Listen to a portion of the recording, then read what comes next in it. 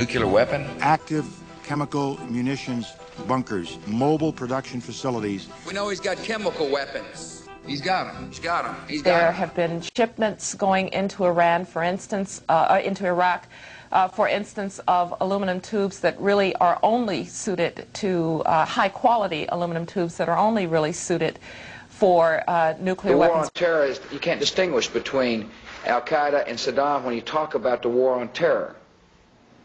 We've learned that Iraq has trained Al Qaeda members in bomb making, and poisons, and deadly gases.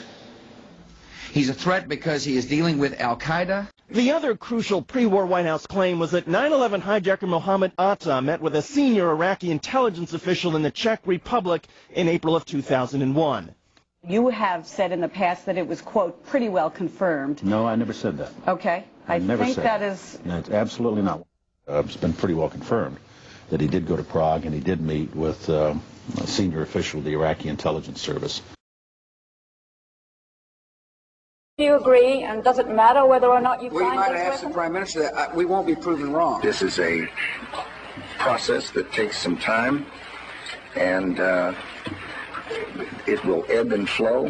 One thing we know is that he had a weapons program. I don't know anybody that I can think of who has contended that the Iraqis had nuclear weapons. And we believe he has, in fact, reconstituted nuclear weapons. But on the specific issue of weapons of mass destruction, it's going to take time, and we're going to have to be Over patient. time, the truth will come out. Uh, now, it's going to take time to find anything because they've had, they, they've People will find that uh, we presented a solid case, a case that uh, is there and was there and will remain there. So it's going to take a period of time to find the people. I don't think we'll discover anything myself. I, I, I- I believe that uh, uh, we, we will find the truth, and the truth is he, he, he was developing a, a program for weapons of mass destruction. I think what will happen is we'll discover people who will tell us where to go find it. You're not going to find it simply in a house-to-house search. You're going to find it when people start to talk to you. It, it, it is not like a treasure hunt where you just run around looking everywhere hoping you find something. I just don't think that's going to happen. The inspectors didn't find anything, and I,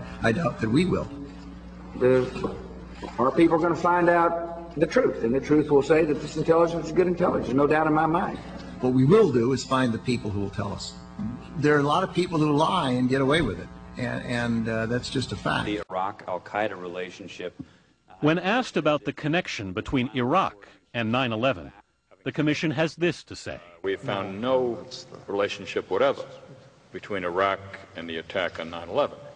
Uh, What did Iraq have to do with what? The attack on the World Trade Center. Nothing, except for it's part of, and nobody's ever suggested in this administration that terror. You can't distinguish between Al Qaeda and Saddam when you talk about the war on terror. We've learned that Iraq has trained Al Qaeda members in bomb making, and poisons, and deadly gases.